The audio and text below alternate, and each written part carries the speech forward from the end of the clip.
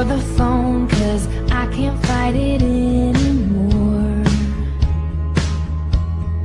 And I wonder if I ever cross your mind.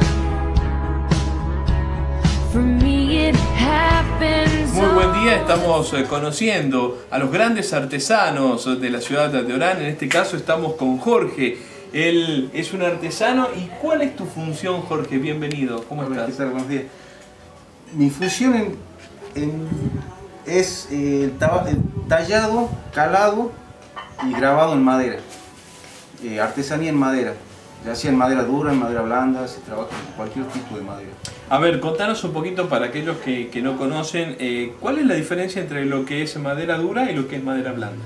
Madera blanda se refiere a lo que es eh, típicamente que se usa normalmente cedro, eh, roble, pino eh, y madera dura. Adentro de la madera dura te- está, se trabaja el algarrobo, se trabaja la quina, el apacho, usebil, eh, mora. Son madera bastante dura y, pero son bastante bellas para trabajar también a la vez, por los colores naturales. Contanos un poco eh, a lo que refiere de tu trabajo, eh, tu historia. ¿Hace cuántos años que te dedicas al trabajo con la madera?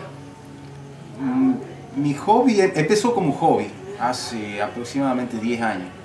Eh, como hobby y después se terminó formando mi fuente de trabajo. Empezamos haciendo unas cajitas en madera y, bueno, y ahí complementando todo lo que iluminación. Después se complementó con hierro forjado también, se complementó con hierro y ahora se complementa lo que es metal también, el labrado en metal. Eh, pero mayormente se empieza con tallado, laqueado. eh, Es un trabajo terminado completo. ¿Eras chico cuando arrancaste como hobby con la madera? No, no, no. eh, no, que creo que tenía 20, eh, no, 30 años aproximadamente. Porque mi- mi- en donde yo trabajaba normalmente, por ejemplo, trabajaba en un banco. Trabajé 10 años en un banco, eh, de ahí pasé a una finca de encargado administrativo y empezó mi hobby, eh, trabajando con madera. Normalmente me interesaba la madera, o sea, me, me interesaba conocerla. Y después, metiéndole mano, como quien dice, empecé a trabajar. Y Bien. quedó como fuente de trabajo. ¿Y cuáles fueron tus primeros trabajos? ¿Te acordás? Eh, creo que fueron cofres cajitas en madera. Para guardar. eh, Sí, cajitas de té, para eh, alajero, esas cosas. Pero todas en madera dura, ¿no? Con encastre, empecé con encastre. O sea, combinando distintas maderas duras y blandas, formando, por ejemplo, usando una quina que es roja, usando un roble que es amarillo, usando un cedro que es un poquitito más rosado, y combinando las maderas de tal forma que se forma un paisaje, por ejemplo, la forma de decir. Ah, bien. Entonces, este, pero empecé con madera dura, trabajando mucho con madera dura. ¿Y cuándo ya podemos decir eh, te lanzaste a medida eh, público en general a, a ser conocido como artesano? ¿Cuál fue ese primer trabajo que uno dice, bueno, es el artesano de la ciudad de Orán en madera? Creo que fue el primer trabajo que me encargó la municipalidad de acá de Orán. No, miento. Los primeros trabajos los hice para la municipalidad de Irigoyen, cuando estaba intendente el doctor Sosa.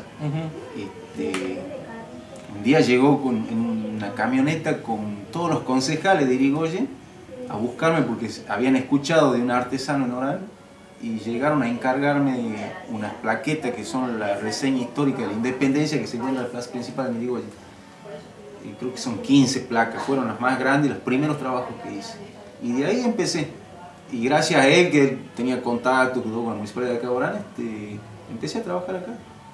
Y dentro de tus trabajos, eh, ¿cuál es aquel que te destaca, el que te sobresale? Creo que, eh, ¿cuántos años llevas trabajando con la madera ya? Eh, 10 años. En 10 años, eh, los artesanos, los artistas, siempre tenemos este, grandes eh, pináculos, ¿no? Un, producto que nos destaca y nos marca. Dentro de estos 10 años debes de tener varios, pero eh, si tuvieras que elegir un producto, eh, un tallado que te ha destacado durante los años y que tal vez eh, lo mantengas cuando te vayas. Creo que para mí el mejor es este, los premios San Ramón. por la forma en que se lo trabaja, la forma en que se lo talla, porque de principio a fin lleva mano únicamente. Eh, son bustos, son por ejemplo unos tacos de madera, unas patas que llamo yo de madera, de 10 centímetros por 10 centímetros por 40 centímetros. Y ahí se empieza a tallar desde arriba hasta abajo. Y es un busto completo, cuerpo completo. Siendo el artesano el creador eh, de los premios San Ramón, porque la gente por ahí no, no, lo sabe y se sorprende al escucharte los premios San Ramón, que es el que hace los premios, sí. Eh, ¿Cómo llegó la posibilidad de esa a tu puerta?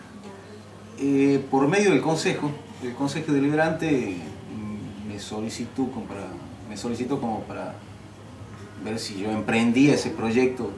Eh, bueno, en realidad los premios San ya estaban creados había varias personas que lo hacían.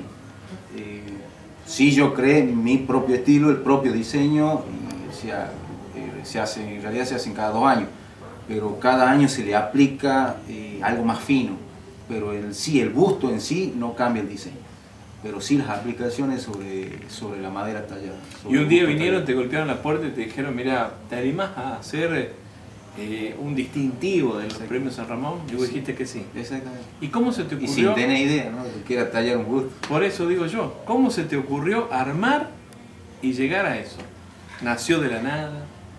Eh, sí, ¿no? Eh, no, de la nada no, porque o sea, ya estaba la propuesta, o sea, el diseño ya se lo hacía, pero era totalmente distinto. Partí de una base de un diseño que me mostraron, pero, o sea, a mí personalmente no, no, no me gustó ese y quise cambiarlo, el, el, el, diseño más que nada.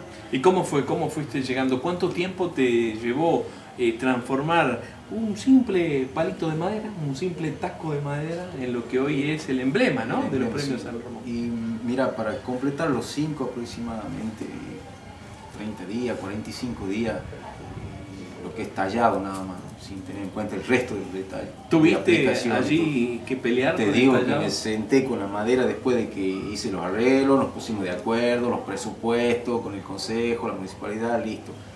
Se empieza el trabajo, me senté con la madera, te digo, no sé ni por dónde empezar, dónde me metí, pero bueno, ya estaba en el, en el baile. Hay que bailar, Hay que bailar, sí, así sí, que sí. empecé, me jugué, me jugué, hice unos moldes de, de perfil y frente, y eso los marqué sobre la madera y empecé a cortar, a cortar y después a tallar. Y en el momento en que lo terminaste, en el momento en que dijiste, bueno, eh, lo tengo que mostrar, ¿cómo fue eso? Mm, mm, Fue medio difícil, pero no, me sentía bastante confiado porque me gustó. Es más, te digo, el primer diseño que hice sin saber ni tener idea cómo empezarlo es el mismo diseño que lo mantengo. ¿Fue difícil mostrarlo? Es- no, no difícil, pero se siente igual. ¿Te sentís Claro. como le pasa a los compositores, como le pasa a los creadores? Gustará, ¿no? gustará, claro, Y te sentís primera pregunta. desnudo, porque estás mostrando tu... Por ahí a veces la gente no lo aprecia. Cuando alguien se para eh, en algún lugar o muestra eh, este trabajo, por ejemplo, eh, está desnudando algo. Y a veces cuesta, ¿no? No, sí, Porque creo que a cualquiera le costaría andar y desnudarte al frente de sí. aquel y decir, pero ¿por qué?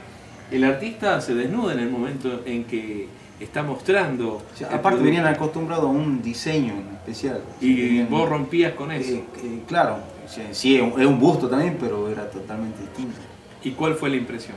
Eh, me impresionó que, que a ellos les impresiona mucho el diseño.